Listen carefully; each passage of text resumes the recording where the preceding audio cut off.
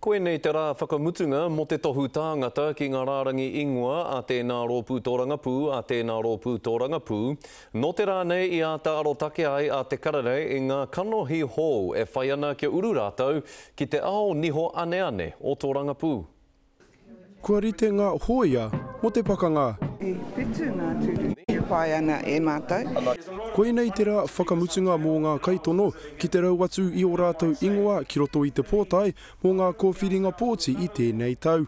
Mo etahi kua tino huri te tai mai atu i nga kowhiringa poti kua hori. Kotahi noa te kaitono o te Pāti Māori o te toko whitu i tu i te tau 2011, I hia tū mō te pāti i tēnei tau, ko te kaiārahi takirua a Te Rurua Flavell.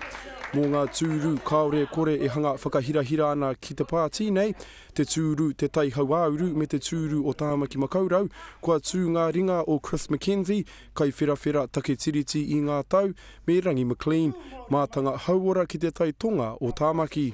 He ika hou tā te Pāti Reipa ki te kapo ake i ngā tūru e mau ana te Pāti Māori. Ko Adrian Rurawhe te tiamana o Ngāti Apa i tōna wā, te mokopuna tuarua hoki o Tahu Pōtiki, Wiremu Rātana.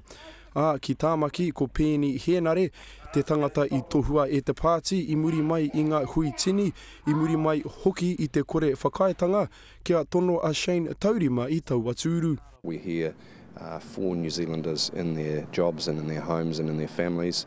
Education is a core area of policy for us. We've made major commitments in that area and having the opportunity uh, both to discuss it here and, and to expose uh, New Zealanders to it through all of you, I think is a very important thing to do. Mō te Pāti Mana, ko te tini o ā rātou kaitono he ika ā-whiro kē, ko te tore kai huruhuru kai te tūranga tino ikeike i runga i tō rātou rārangi, ko Makalithi Ngata kai te nama 15.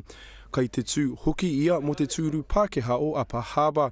Kei te kō taku ngākau nā te mea, ko te tuatahi ko tā tātou nei kaiārahi ko Hone. He mārama te kite he kanohi hou ka whai wāhi ki roto i te whare pāremata, engari ko ēwhea kanohi mā te wā e kite.